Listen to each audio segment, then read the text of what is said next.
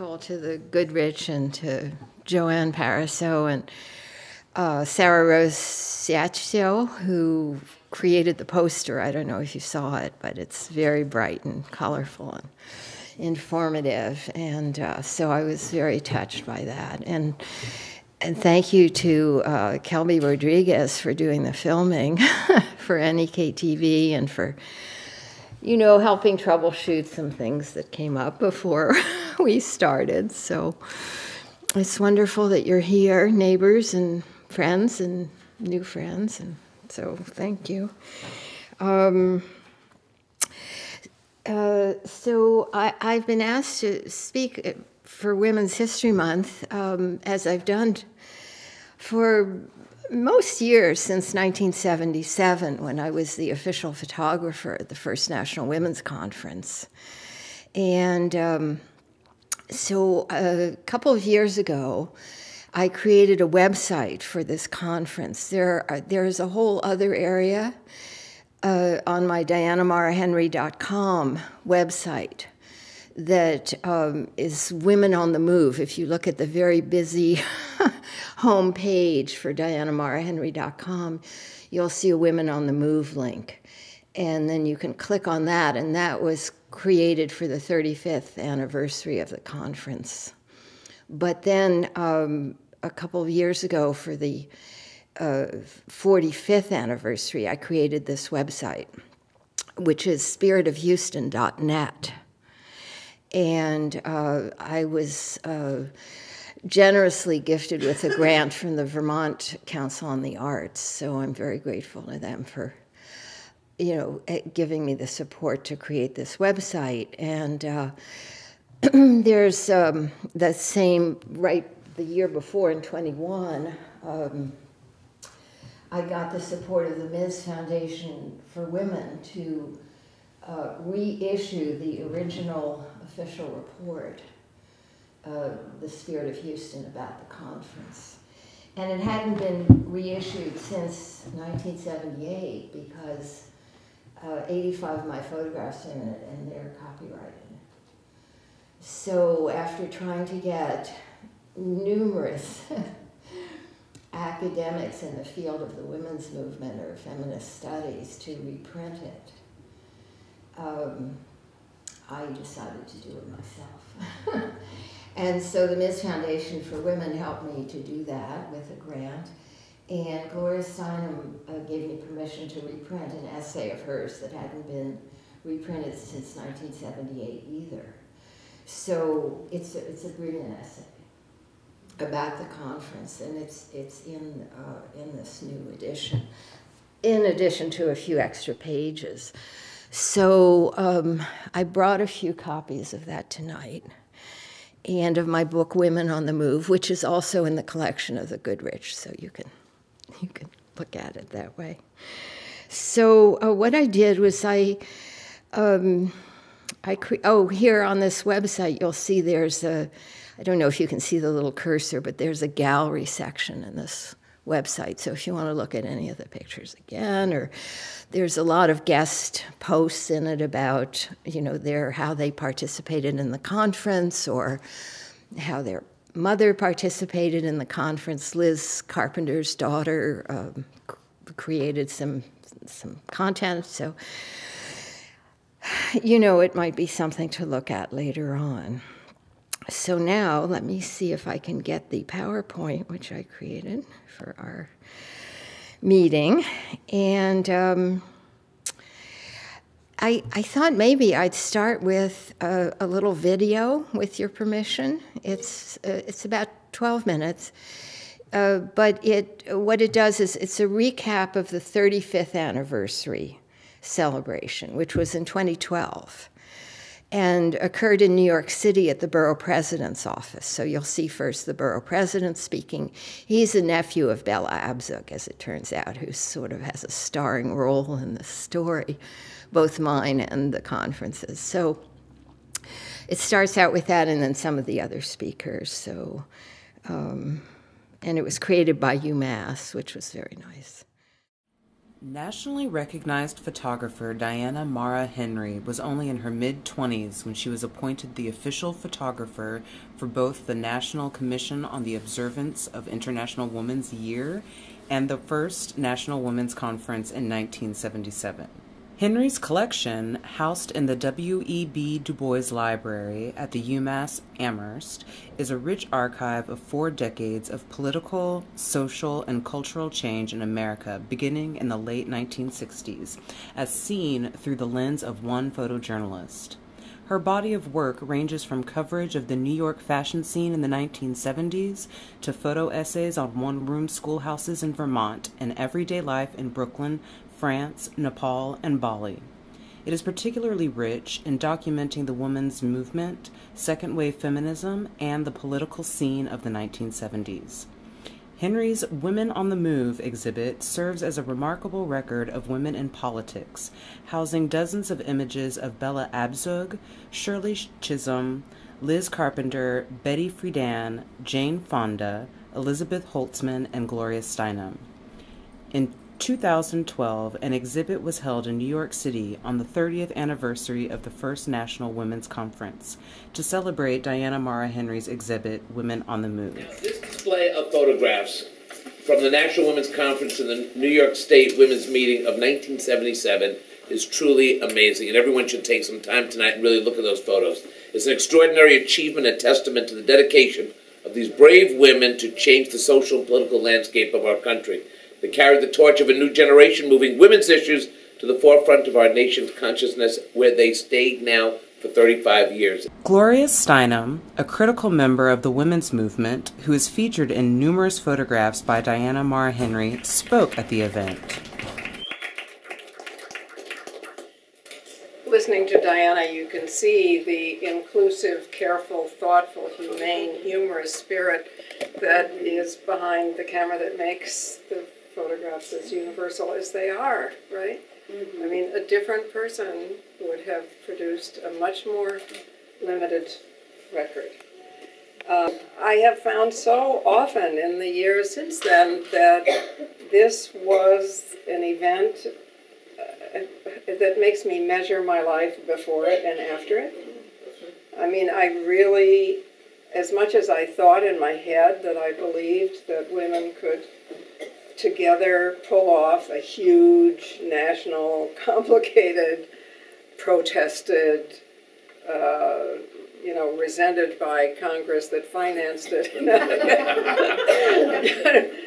effort, I, I'm not sure that I really believed it. And it was only afterwards that I had that kind of confidence. And it was this event that did it.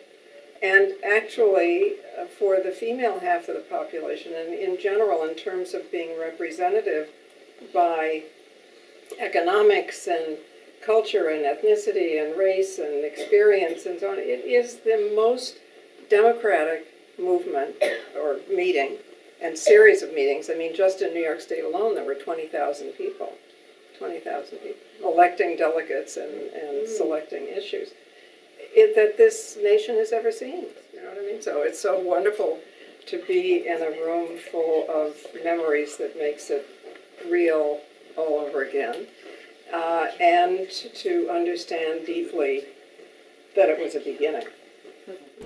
Congresswoman Elizabeth Holtzman also spoke at the event, reflecting on the movement and expressing her gratitude for Diana's photographs. Thank you, Diana, for sharing these wonderful photos with us.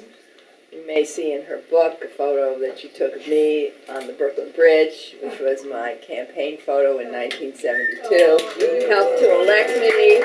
It shows what a great photographer she is, and it's great to be reminded of the history. Gloria reminds us it was filled with such energy, and it reflected the views of tens of thousands, hundreds of thousands of women around the country.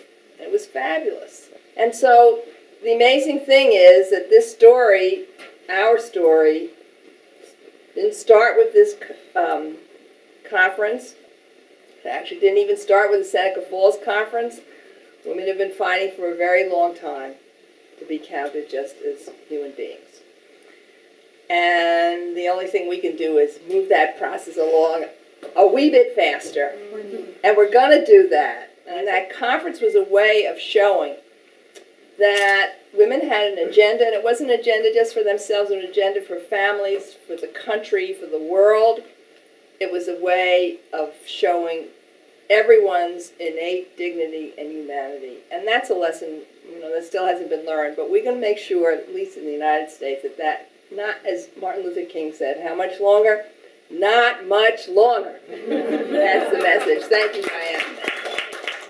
One of the most touching moments of the event for Diana was the reunion of the three torchbearers, whom she had photographed in the Women on the Move First National Women's Conference March from Houston. Most exceptionally, I want to thank Peggy Kokernot Kaplan, the woman who represented the First National Women's Conference on the cover of Time magazine in 1977, and her amazingly successful efforts to find the other two women the magazine should have put on the cover, since they carry the torch also for the last triumphant mile of the 2,600 miles from Seneca Falls to Houston. Michelle Searcy and yeah. Sylvia Ortiz.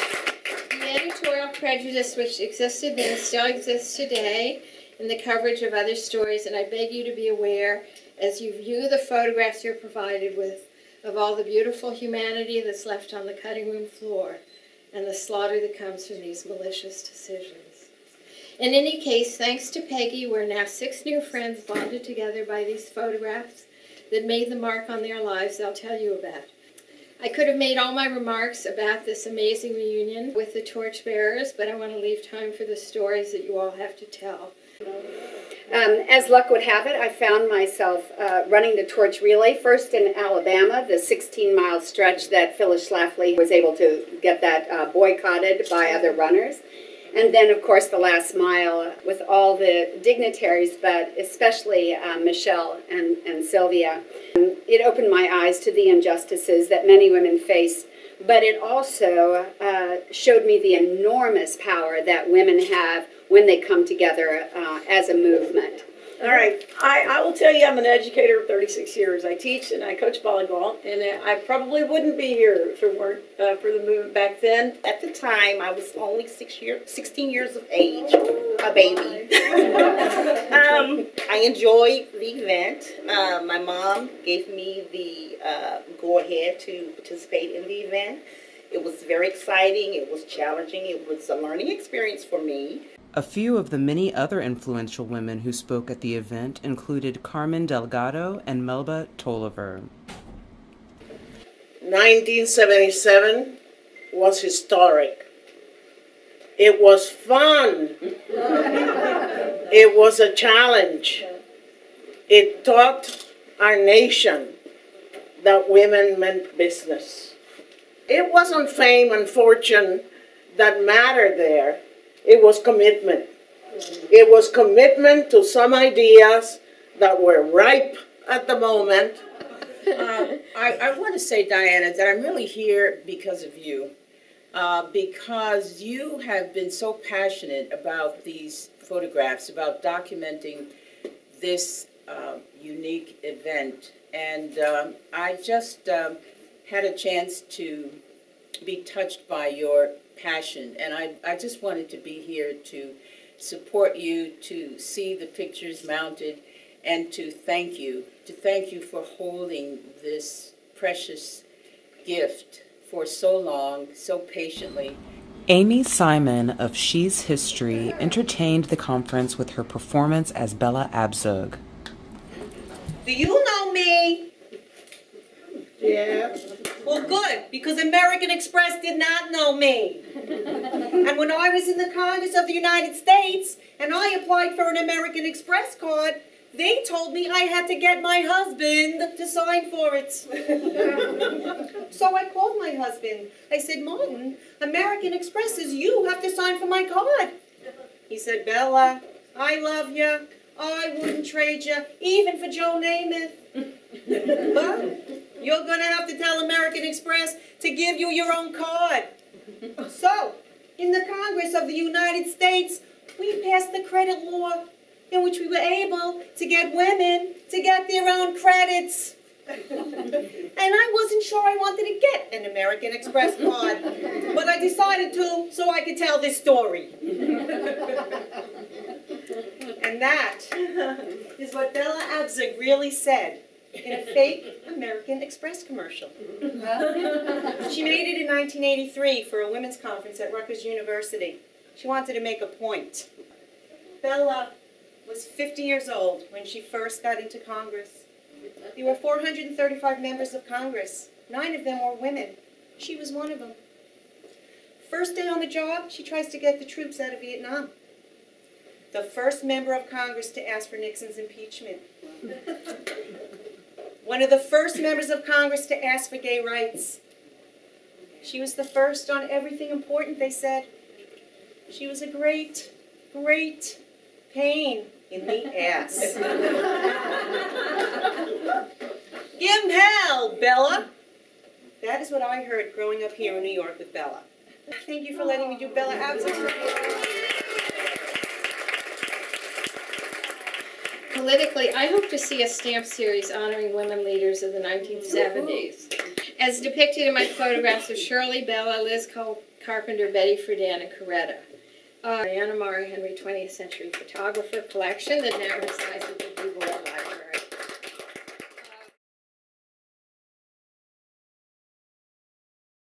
I hope you like that video. I think it's a, it's a really nice uh, statement, and um, you know, these people, I, I feel so blessed that I know them, that, you know, they reached out to me or through other ways. I've gotten to meet them again, and um, yeah, so I think it, let me go on now. Um, okay, so let me see, am I here? Oh, okay. So uh, Joanne thought that I should say a little bit about how I came to do this. Not sure myself, but uh, you know, you look back and you say, well, you know, my mother was a designer.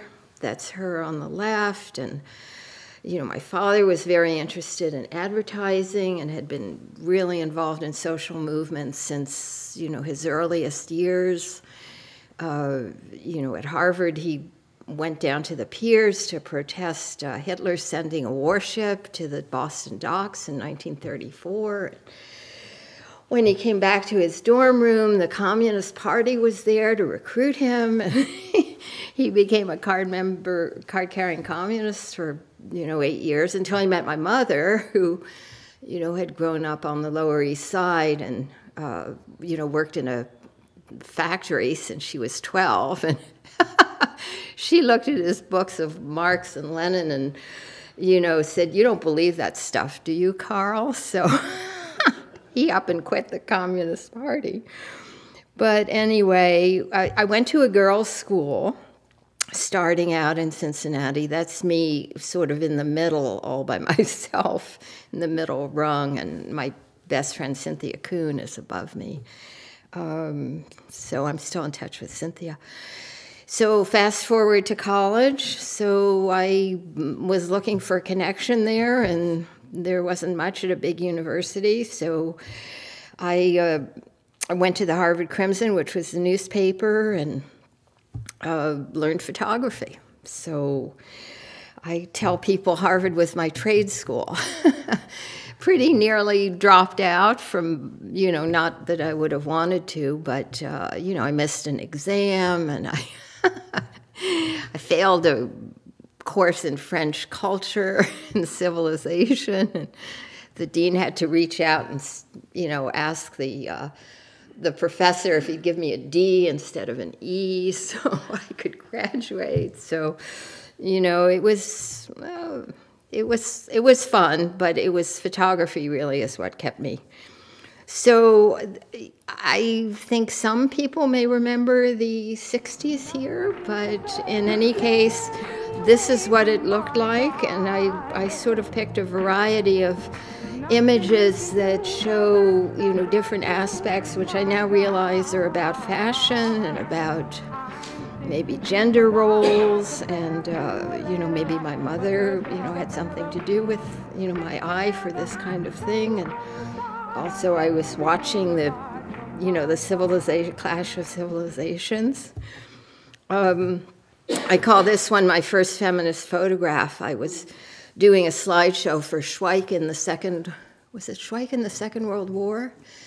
Um, a play, and uh, I was asked to create a slideshow for it. And I went down to Boston's North End, and I don't know if you can see it. Does anyone remember this poster? So, this was a poster of a woman cut up into uh, pieces like a side of beef. It, it's hard to see, but, but there are lines scoring her body. Do you remember that? Yeah, I mean, you know, it's like, uh, so, you know, I sometimes think the power of photography uh, is also a real world uh, power between the photographer and the person being photographed. And I like to imagine that with this, with this butcher, you know, looking at the same thing I'm looking at, but with me photographing it, that maybe he took down the poster. So, because I, I think the act of photography has that power, even in a sort of limited space between the, the, the people who are involved. So, anyway, more scenes of New York City fashion models in 67, 68, and going on to 71, which I call my wild and crazy year at the Renaissance Fair, one of the first ones. Oh, and some of these I actually, um, I actually have some postcards there if you want to take some postcards and make a donation to the Goodrich or something, you're welcome to grab some.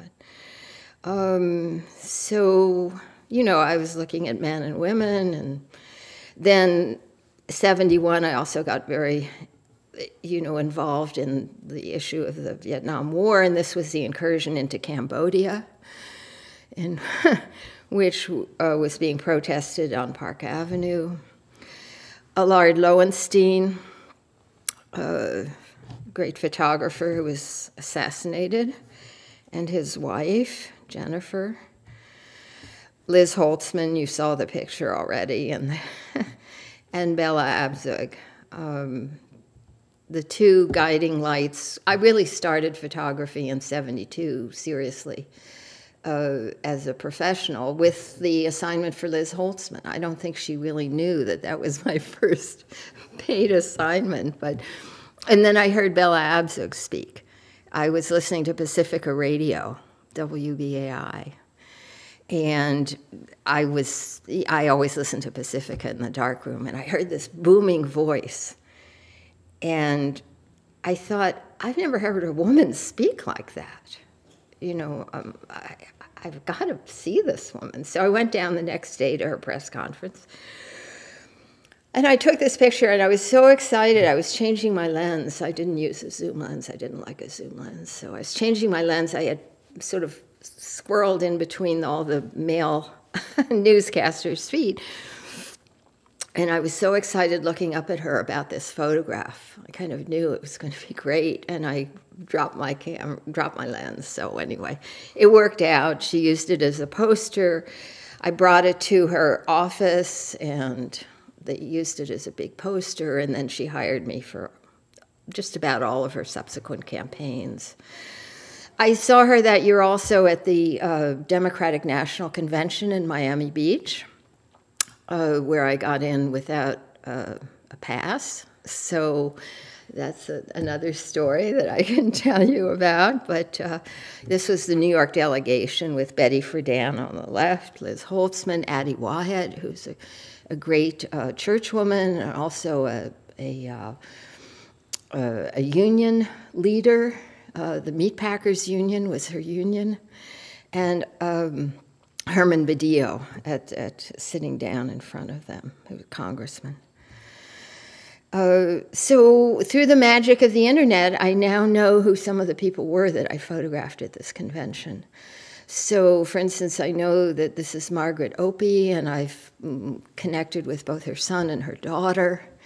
Um, she was a welfare rights delegate. Her son teaches at Harvard and Babson. Her daughter teaches at Babson College. So, you know, life has has has moved on and gotten, you know, expanded and changed for from generation to generation, as it did for me, and you know, so more delegates and people greeting Shirley Chisholm, uh, who I actually have a better photograph of her with her eyes open, but I kind of think this is cute too. so, um, and this is my favorite photograph of her, and one of my favorite photographs ever uh, of her at the convention. She was running for president. Uh, but I had been working, I had been volunteering for the McGovern campaign since uh, the primaries in, in New Hampshire. I told someone I was interested in McGovern and, you know, I'd love to photograph him. And they said to me, I don't know who it was, but they said to me, why don't you get on the press bus? And I'm like, can I do that? And they said, yeah, just call his campaign and say you want to get on the press bus. And of course, they asked me if I had an assignment. I said, no, I'm there on, you know, I'd be on spec, which means, you know, I'll try to get my assignment later. But uh, actually, the, the photographs were published for the McGovern campaign in, you know, nationally on T-shirts and, you know, in leaflets like this one for, for the women's section. And there again, I went to rallies, and this woman who's holding the sign, this whole group was standing on top of a car. and, you know, I thought, well, I'll never know who these people are. And then the, this woman, Sally Popkin's daughter, wrote me, Annie Popkin, and said, I, I understand you have a photograph of my mother. So, you know, this was like 30 years or more after the event. So now I know who this woman is, and it's, it's, to me, that's really exciting and wonderful to, you know, to make that connection. I, a little phrase has been floating through my mind recently, which is with the change in AI and all of the, you know, sort of manufactured images that we're seeing today, you know, I think what's precious about these images is that they're real people. the, these were real people.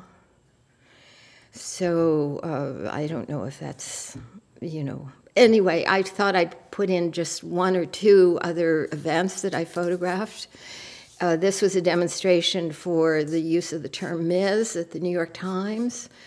Uh, the term Ms. had already come into the dictionary in 1974, and um, the New York Times uh, was not using it. Ms. Magazine had come into existence. Do you all know what the term Ms. sort of stands for? Why in the 60s and 70s we wanted the term Ms. to? It's on all the forms now, and it's really interesting when I when I speak to groups and even when I was doing. Um, I was doing my uh, substitute teaching, and I would write my name on the board. I'd put down Ms. Henry, you know, and then it would be like, "Do you know what the term Ms. means?" It was like, "No." So, um, so the term Ms. Uh, was meant to substitute Miss or Mrs. So that when a woman was introduced before the term Ms. came into use, the first thing you heard, even before her name, was whether she was married or not. So imagine that with a man. It doesn't exist, right? Mr. is Mr. He will tell you if he's married or not. It's not part of the professional role that people play. But women, you know, were still introduced according to their marital status. So it was a great advance, which no one really is aware of anymore. It's, you know, become part of the culture. But in a sense, it's been lost to the culture too. But anyway, so here, uh, oh, I was going to ask you, when do you think the New York Times started to use the term Ms., right? So my friend Jan Le Levy sent this to me in 1986 when they started to use the term Ms., so 12 years later. Uh, Gloria Steinem used this, you know, it, event as I photographed it on her website because, of course, Ms. Magazine. And then there were demonstrations for the ERA in New York City, in 1976, and this photograph uh, is on a panel. I don't know if you can see it all the way at the right. There's a big panel. I haven't seen it, but it's at the uh, Legacies of the Civil War exhibit at Historic Tredegar, Virginia. So I think that's quite nice. Uh, woman's place is in the White House. Well, we're getting there, I guess. All right. First National Women's Conference. So Bella Abzug, you know, reached out to me through uh, her assistants, Lee, Lee Novick and Mim Kelber, and asked me to be the photographer. I'd also already photographed the, the New York State Women's Meeting. The National Women's Conference was funded by a $5 million grant from Congress. And the $5 million also covered state meetings in all 50 states and the U.S. territories, like American Samoa, the Virgin Islands, you know, Washington, D.C. So it was, um, it was a, a major effort, as Gloria mentioned. And I was the official photographer. There was an official photographer for the torch relay from Seneca Falls to Houston, which sort of brought awareness across the country, at least north to south. And then um, I photographed the inside of the conference. So while other photographers, like in a national convention, would have to get a press pass, go onto the floor of the conference, and then after 20 minutes come back and give the press pass back so someone else could rotate in. I could be there all the time. So it was a, it was a great responsibility uh, started before the conference when we were assembling uh, for the last mile of the march with the with the torch into the convention center in uh, Houston, and uh, this is Maya Angelou on the right who uh, created the statement for the conference, which is in the book, and. Um, Betty Friedan, the women's magazine publishers were there, of course, Good Housekeeping, Redbook. This is my most published photograph. So I think you can see Billie Jean King on the, on the left, and then Susan B. Anthony, who's the great grandniece of the uh, suffragist Susan B. Anthony, Bella Abzug, and um, uh, Sylvia, Sylvia Ortiz, Peggy Kokernot, Michelle Cearcy, and Betty Friedan. And this photograph is used a lot in textbooks. And when I license it, I always say you have to use everyone's name, not just the celebrities.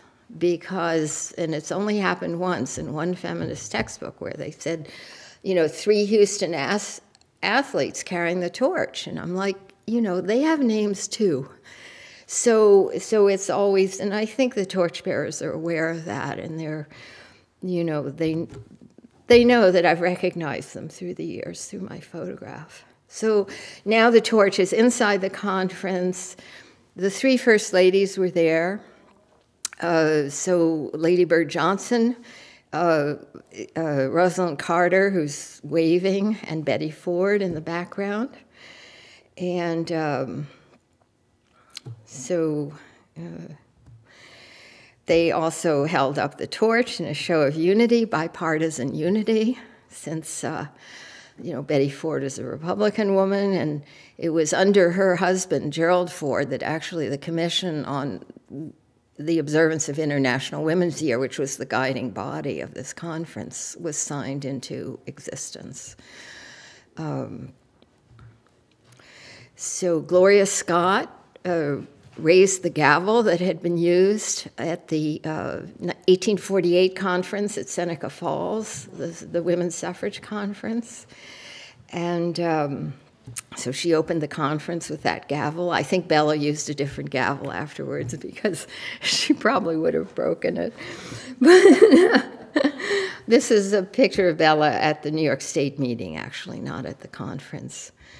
Um, Betty, uh, Betty Ford and Coretta Scott King applauding Barbara Jordan, Congresswoman from Texas, her keynote address. uh, outside the conference waiting to go, get, go in. Alcoholism is a woman's issue on this delegate's t shirt. Uh, so Mim Kelber, who, who was the editor for the, um, the official report, told me to you to get everyone's names that I photographed. And I really didn't like doing that. I had never really done that before. It kind of interrupts the flow, you know, of the, the visual excitement that you're involved in. And then you have to pull out a pad and write down a name and, you know, who, what they look like. And anyway, it was tedious, and I'm so glad I did it. And I'm so glad she asked me to do it. So, anyway, uh, this is a 17 year old delegate and her chaperone, her mother told her she could go to the conference if she would, you know, stick by Alice Bebo, so who was another delegate from California. And of course, as Gloria said, there was a very wide variety of women representing different territories and states. American Samoa. Uh, Patsy Mink, who was the first Asian American woman in Congress, spoke. And Barbara Jordan gave the keynote address. And this is the throng getting her getting the program signed after the address. From the from midway back through the conference hall, this is what the conference hall looked like. Um, you know, I I just wonder if there could be a conference like this today, with a big sign, "Woman." and who would be at this conference? I, am just I'm just asking the question. I ask it of younger younger people when we talk, because I don't know what they're thinking now about women. but in those days, it was something we identified with, and of course, this conference was, you know, by women, for women, about women. So just who knew that was going to be as controversial again as it is now? So there were great di differences of style and you know individual expression. Uh, this is Dolores Tucker, who was the first Secretary of State uh, of any state in Pennsylvania. And Liz Holtzman, you saw already, Earnest Delegate with the Robert's Rules of Order. So, as part of being the official photographer, I think Bella contacted me or someone on her behalf and said, you know, come up to the hotel room tonight. We're having a meeting of the commissioners. So, this was like a planning meeting of the commissioners. Uh, it was, you know, very late at night and, you know, very, um, you know, very honor, well, great honor to be there. This woman here uh, is Lee Novick, who you'll see in a bit, but she um, she is the woman who put together this conference. So when you think that she organized and you know structured the conference so there could be a national convention, wow, doesn't get enough credit ever, I don't think. This was another behind the scenes tour of the conference center before the conference, you know, so the commissioners could see uh, you know, what the building was and where everything, you know, would be happening behind the scenes as well as on stage. Um, this photograph, you know, I asked Gloria which photograph I should use of her for to illustrate the essay, and she wanted this one. So, you know, I'm happy she likes it because I like it too. You know, everyone wanted to look like Gloria with the you know, long straight hair and the aviator glasses. And so here she's speaking, you know, you can see her on the monitor and uh, someone else is watching her. And here again is the style that, you know, really was, it was, it was a very popular style to model yourself after Gloria. So Jean Stapleton, for you know, all in the family, right? yeah. So Edith Bunker, um, you know, had a great interest in this conference, and she also was at the New York State Women's Meeting promoting it, which I'll show you in a minute. So at the at the time, there were two women who were uh, heads of the Republican National Committee and the Democrat National Committee. So Jean Westwood was uh, chair of the Democratic National Committee, and uh, Mary Crisp was co-chair of the Republican National Committee. And you saw this image of Peggy and Jill Ruckelshaus.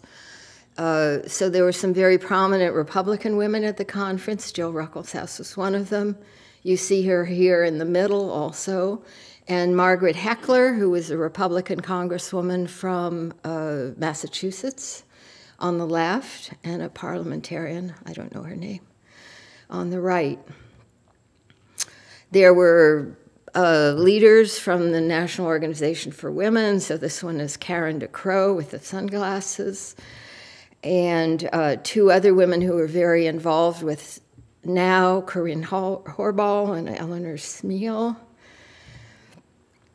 Uh, more delegates and style. The, the whistle uh, is uh, the, the woman holding it is a, is a lawyer, and it's the whistle is her uh, business card so she had her name and contact information on the whistle, and it was a rape whistle.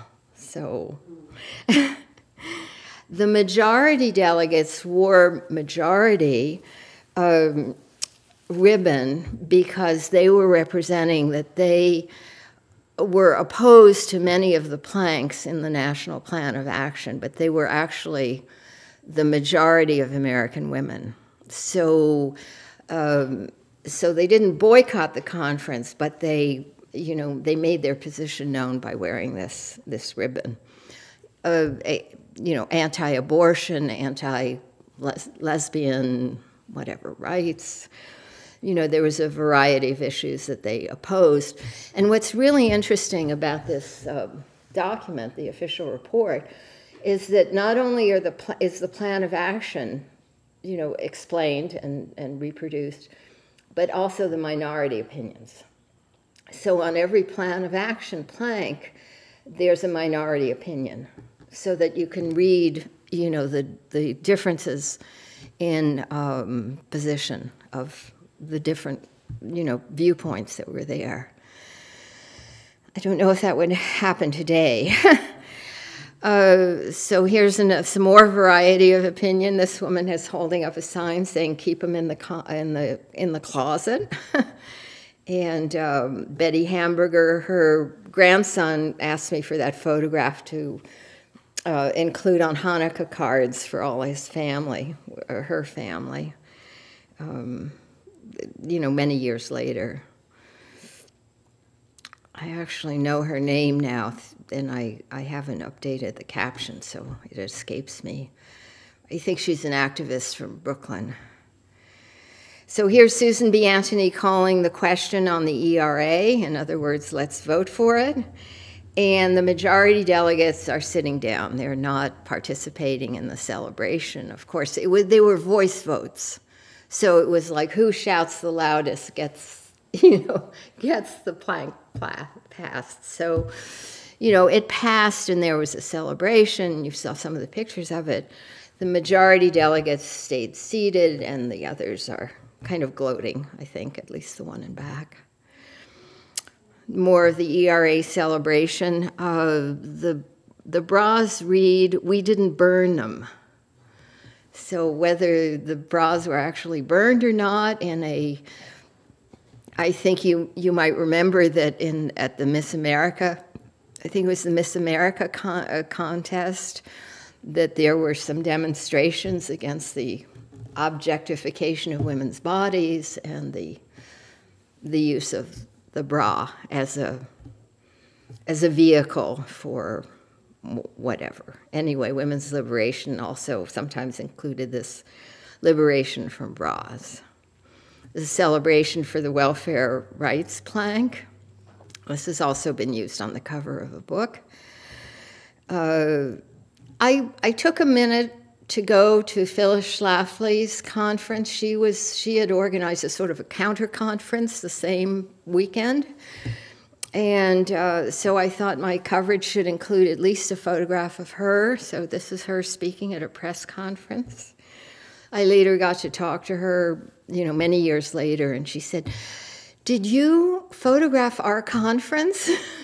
I think she wanted some photographs, you know, more than of just her. And I said, no. I said, Bella hired me, you know, so I was working for Bella. But she's a very nice lady. She's very, very nice.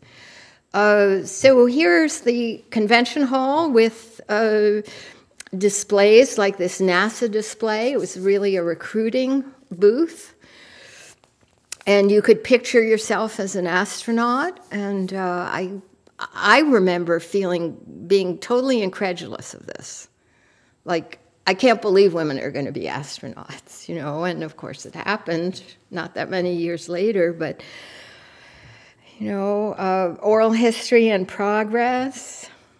Women from Houston also volunteered to work at the conference in police force, bus drivers. The end of the conference with a celebration and the signer for the deaf is at right. It's kind of sweet. She's her job is done, but she's, you know, enjoying what her work has been. Uh, this is a testimonial from Billie Jean King about the conference and my photographs. So after the conference, the the report was was published in March, so not very, you know, three months later. And Bella and the commissioners took it to the White House, and this is at the White House with President Carter standing there with the book under his arm. looking pretty stiff because Bella's giving him what for. And he later fired her, not very many months later. And uh, Rosalynn is on the left. And then she got to hold up this t shirt, which was sort of the iconic t shirt of the conference, which I reissued for. Um, so, Gloria Steinem at the, at the, um, at the White House was introduced to the baby of one of the delegates. And so in this photograph, the inset, she's holding the baby. The baby's name is ERA. She's the daughter of Judy McCarthy, a delegate, I think a Cherokee delegate. Um, and then this is on the cover is ERA many years later with her husband. And she's also come to events that I've spoken at and so on for and spoken herself and so on. And this is her with her mom, uh, you know, age progression. um, I'm so grateful for the gifts the ERA movement and my name have given him, given me. Before the movement, I could never have enjoyed the position in life that I do now. Also, my name and everything it stands for has made me believe in myself regardless of the difficulties I faced in life. So, this is the organizer of the conference, Lee Novick. Uh, and she taught at Stanford at uh, political science, I think at Stanford or Berkeley. And then she became a rabbi later in life. So I knew her also later in life because we lived to get, lived close by in Carmel. She was in Carmel Valley. I was in Carmel. Uh, the exhibit has been shown at different places. This is at the Woodrow Wilson International Center for Scholars in Washington, D.C., with their poster and Jo Freeman looking at the exhibit. You heard about the stamp campaign, the torchbearers. Here's Jean Stapleton again uh, celebrating the women's meeting. Uh, Ruby Dee. So there was promotion for the New York State Women's Meeting. And as part of it, Ruby Dee and some other celebrities toured New York in a bus. And uh, I love this picture of her, you know, under George Washington on Wall Street signing autographs and letting people know. And then the conference itself, the New York State meeting, included an evening of entertainment where Ruby Dee again entertained, as well as other women, including Vinie Burrows, who's on the cover of my book, Women on the Move, who just died in her mid 90s. She had been, I mean, just in the past year, she had been performing on Broadway or off Broadway right until the end. But her, um, she didn't find many roles for black women. So she created her own shows and she created at least five different shows that she took on the road, which were monologues. you know, theatrical uh, presentations about women in history, especially black women. So, more of the uh, these women support the coalition slate, and then one of them's wearing a Dyke sign on her on her lapel. So here's Melba Tolliver. You saw Melba Tolliver at the in the video, right? And she said, "Thank you, Diana, for holding this precious gift." We're still in touch. We were talking about doing a book uh, together called "Can't Say We Didn't Try." So I haven't heard from her though recently. Unfortunately, I keep reaching out, but this is her filing her story.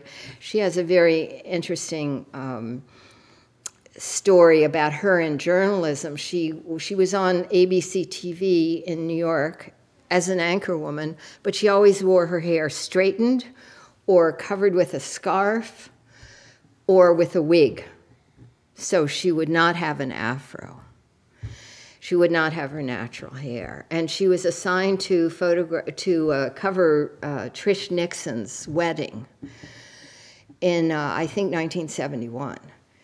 And at Trish Nixon's wedding, she decided to go natural with her afro. And when she came back to New York, she actually was, was laid off her her boss told her that she could not appear on the uh, news as an anchor woman with her natural hair. And I remember, I was in New York then. I I swear I remember the outcry, the outrage in New York City, that she had been, you know, put on leave. And she was back within a week. And it was, a, to me, a great advance for human rights that she was able to appear with her natural body uh, and and be a professional. So, reporter from the Philippines. This is what the New York State Women's Meeting looked like in the hallway, so you can see the thousands of people that were spoken about. Child care not so much. I don't know what happened. They didn't really think about this too, too much, I don't think, because this was childcare at the New York State Women's Meeting. So go figure. Um, there were some great art exhibits. You know, I created one called Women Photographers of New York State, honoring 70 women photographers. This was a sports exhibit, you know, again, like the child care, a little bit of a little bit of a second thought, I think. A great range of topics, and this was going on all over the country, you know, in every state and territory. There's serious challenge, I would think, to know who to vote for and what plank to vote for. I mean, this is the, this is the voting booth. And the end of the conference with Midge Costanza. These are a few of the people at the conference. So I was interested in doing a survey, resurvey of the women of the conference, and I thought I'd start with the youngest delegates. So Dottie, uh, Dottie Starr was 16 at the time, and uh, then she sent me this updated photograph of her. And this was, she filled out the survey very thoroughly with, you know, her position and how it had affected her. This was another delegate who filled out the survey, but you know, much more sparsely. Uh, she actually, I was able to get in touch with her, and her boss was so excited. He said she works in the mailroom, but we're very excited, you know, to be honoring her for this conference. And so we're going to have a, a you know, a little get together, a little party or something for her. Uh, so you know, I was happy about that. That that had she was age 16 at the time in a foster home. This is the oldest delegate to the First National Women's Conference. Uh, Clara Beyer, an influential New Deal administrator who served as a confidential aide to Frances Perkins uh, during Frances Perkins' 12 years as Secretary of Labor. Uh, and anyway, she was uh, a close friend of Secretary Perkins and Eleanor Roosevelt, and so on. So, uh, just where the New York state women's meeting took place. And then this is my final little section, which I'll run through very quickly because you've been very patient. But I thought you'd like to see another event in women's activism that is very little known uh, in the United States, but in Europe, they're crazy about this event. So all the requests that I get for this event, you know, are from France or the European community. Um, you know, it's the Women's Pentagon Action. And it was also the last time I saw Bella. She was there. Women were there in such numbers that uh, we surrounded the Pentagon, which is a huge building it's at least a mile around. And there were enough women there to hold hands and surround the building. It was very exciting, yes. And the, the main activity was to prevent people from coming in and going out of the Pentagon so that they would think about, you know, their militaristic endeavors and so on. So the um, this actually was very successful. People were prevented from going in and out, at least slowed down. They weren't prevented, but the police presence was very benign. Uh, you know, they helped people climb over the demonstrators to get in and out, and uh, you know there was you know, music and so on. So that's it. It's the end of my presentation, but I'm happy to ask, answer questions or talk to you about what matters to you about this. Thank you.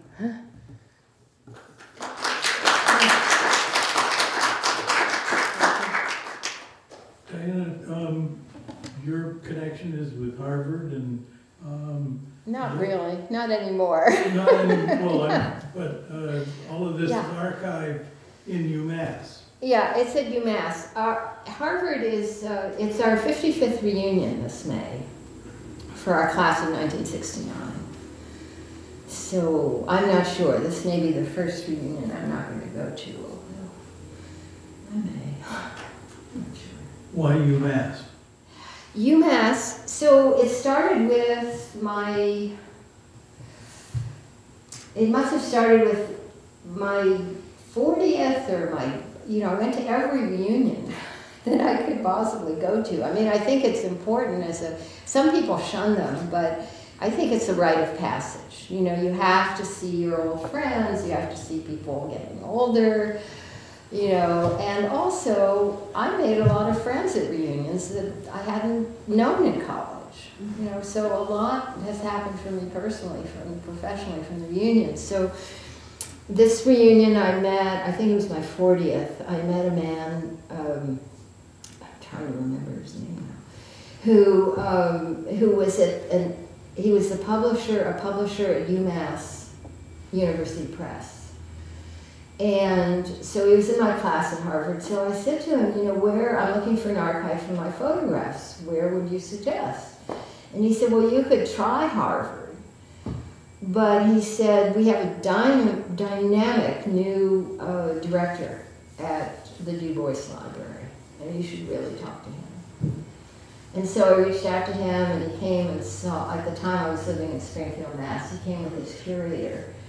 And they looked through my, you know, I've preserved my photographs, hundreds and thousands of photographs for, you know, years, going across country, never storing them in the basement. Uh, and you know, he looked through my file cabinets, they were, they're always really well organized, and after about 10 minutes, he said, you know, we'll take them. And then we went to a local Vietnamese restaurant for lunch. So that's how it happened. I think I did reach out to Harvard, and they said, we'll take them, but we won't pay anything. And UMass did pay me something, so that was great. But, uh, yeah, so that's how it happened. Any other questions? Yeah? How did you get such a good look on um, taking a photo of the woman who, uh, an African American who was the first woman to, to go for presidency? Shirley? Shirley Chisholm? Yeah. Well, um, so how I got into the Democratic National Convention was I just, I've been photographing McGovern and I just decided, you know, I can't photograph his campaign and not photograph the convention where I think he's going to be selected as the presidential nominee. You know, so I, I packed up my darkroom, my smaller and larger, and um, I, uh, my college roommate, and who is still my friend, I don't know, sort of drifted apart, but she came with me to LaGuardia Airport, and there were huge lines to, to for the ticket counter for the airlines. And so we looked and we were like, well, why don't we stand there? Because there's some sort of cute young guys at the end of that line, so, you know, maybe we'll strike up a conversation. So, sure enough, you know, and they were going down to the, con- to the uh, convention to work on Dick Tuck's uh, um, reliable source newspaper. Dick Tuck was a Democratic prankster. And so he, you know, at these conventions and Nixon's banquets and so on, one of Nick, Nixon's banquets, he infiltrated the, the fortune cookies. It was a Chinese themed banquet because, because Nixon had opened up, you know, trade with China. And so Dick Tuck uh, had stuffed all the fortune cookies with uh, Richard Nixon's dirty tricks. So people open these fortune cookies at the end of the banquet, and I was like, oh, you know. so uh, anyway, so these young men were going to work for Dick Tuck. They, you know, none of us were paid. So they said, well, you should be our photographer. We don't have a photographer. So I became the photographer, and the first couple of days of the convention, we didn't have press passes. So you saw, you know, I photographed the Shirley Chisholm supporters outside, and Flamingo Park, and, you know, where the hippies were camping out. And then uh, one of our number, one of those young men, I won't say his name, arrived, and he said, I got five press passes. I mean, he said, I was going past this desk and there were five press passes there and so now we all have press passes, you know. So, and in those days there were no, you know, ID pictures, there was, you know, it was pretty casual, as you can tell, because we all got in the last night, which was the big night. Um, and I think in this brochure, maybe you, see the picture of Clinton, is Clinton in this brochure? Yeah. So I photographed Clinton at the, at the convention, uh, because, you know, it was the, McGovern was giving his speech, and, you know, I was able to circulate. The McGovern photographers, staff photographers were sequestered in the back of the room. But I had a different kind of press pass, so I could go anywhere. So I, you know, I thought, oh, you know, there's such a crowd at the bottom of the of the stage, you know, and then I, I, you know, I'm a formerly shy person. I mean, maybe I'm still shy, but you know, I mean, I was really shy, and I just thought, you know, I have to do this. This is, you know, there's no alternative. I'm going to have to use my elbows, get in front of the podium. And so I got there, and then as a good photojournalist, you don't just photograph the celebrity, you look around, do a whole, you know, turn to see what else is going on. And I saw Clinton probably as far as that wall. Of course, I didn't know his name. Mm. And people said, did you know he was going to be president someday? no. And then some people say, you know, did you date him? no. But, you know, so where was I going with that? Oh, so Shirley Chisholm was at the podium and then she was sitting in the dignitaries area, so I, that's where I photographed her, was, you know, the one with the pearl necklace was actually with her and her husband. Yeah, so. You take such beautiful, well, yeah, really, really remarkable photos. Thank you. They're all historic. Thank you. I look at them now and I think, damn, I was good. you know, it's like, I mean, they're still, they're kind of, like people say it's an iconic photographer. I've seen that photograph and really, so few of them have been published. But somehow I was able to capture what people think of these people. so that, you know, there's still a resonance, which is, you know, how did that happen? I don't know. Thanks, yeah. So what's the last photo on the back of the brochure? Oh, so that photo was taken at the World Trade Center before, many years before it came down. I think it was the 15th Avant-Garde Art Festival that Charlotte Moorman created for New York City. Charlotte Moorman was a great um, musical artist, performance artist. So she would perform, she performed, one of her famous performances was nude on the Staten Island Ferry. She was playing piano and photographed her in, in a bag, a bag piece at the Museum of Modern Art, where she also bared parts of her body. So it's in her book. so um, she organized avant-garde art festivals, and I went down and photographed it. And this was one of the performance pieces that was happening there. It's what I, one of the things I really miss about New York is street theater and, you know, performance art. I mean, maybe we see that in Newport, but I don't think it's, I don't think it's created for that purpose necessarily. But in New York City, you know, the, you, you would see people, you know, performing on the street and shop, in store windows. They would, you know, get an empty store window where they could perform. Mm-hmm. And yeah, I miss that expression. Everywhere else I've lived, I've never seen as much or any. I think you'd see it in London. Yeah, probably in the big cities that I would think that's great.